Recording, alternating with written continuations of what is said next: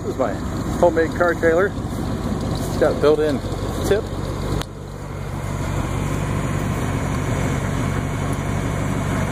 Just a cheap Harbor Freight jack.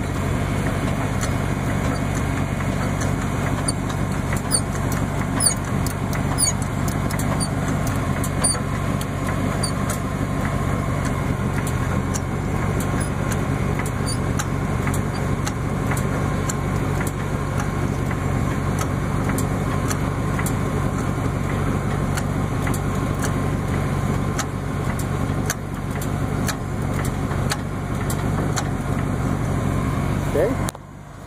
Now the trailer is fully tilted. And the car can just drive off. Pretty simple design, cheap and effective.